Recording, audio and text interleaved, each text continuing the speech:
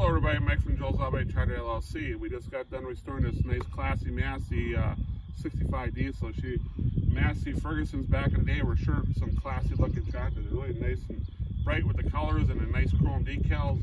Back in the time they were sure a fancy looking tractor. So this one here, uh, tractor was a little on the rougher side, not bad, but a little on the rougher side. The sheet metal is really nice, but uh, mechanically and stuff she was uh, used. Uh, the motor is a, got the Perkins diesel, so the motor was all rebuilt. Uh, she had a loader on, so obviously the tie rod ends and stuff were a little on the looser side. The power steering pump was shot.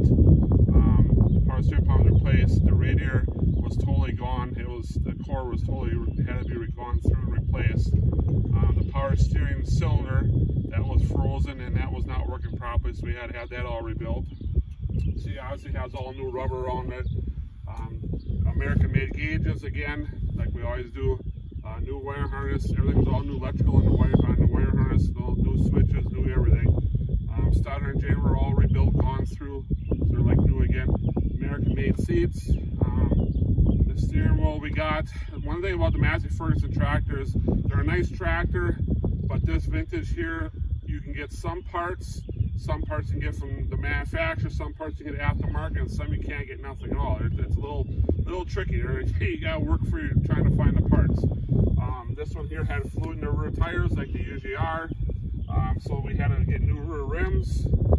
We get all rims factory direct. Uh, the, the fenders we were able to reuse. The headlights we were able to reuse. That was all really nice actually. And they even got little eyebrows on it from the factory. That was an option. Um, the grill screens, screens are brand new. The front bumper we reused. Um, the rim, we had no brakes. The brakes were just used up. So we took the end all apart and rebuilt all the new brakes. My right-hand man, my employee, did a great job on that. Um, as you can come back here, Ethan. As you can see back here, we put all the new uh, pins in again. Show a nice detail. We got a slow moving vehicle sign in the back for the couple because they're planning on using it on a bunch of tractor rides and stuff and shows and parades, so we got to be safe. Um, we got all new hardware, all new hardware in the wheels for the slides. Uh, that's one that we ran into. The slides were rusted tight because obviously the calcium chloride, that, that solution water is that's bad stuff. It just it eats and just rusts everything entire tight. We had to fight and struggle with that, but we got her. Um, new voltage regulator, uh, sample. We went through all, cleaned that all up good again. New belts and hoses like always. Um, the grill screens here were aftermarket. They fit, but they're not the best. I would like to see them made a little bit better quality, so we had to we had to tweak them a little bit to get them to be decent. Uh, got new emblems that you can get brand new, no problem emblems.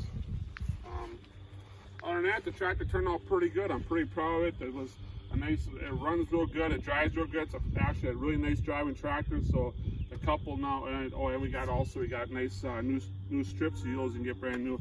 But no, the couple plan on using that tractor rides and stuff. And it, it should be a really a fun, nice tractor for them. And it, it's got some really neat history behind it. This was their their when they bought the farm, they got this tractor with the farm package, and this was their large tractor for a bunch of years when they first started. And, and now the wife is actually be driving this. is her tractor. She always enjoyed driving stuff. So it's got some really neat, cool history behind it.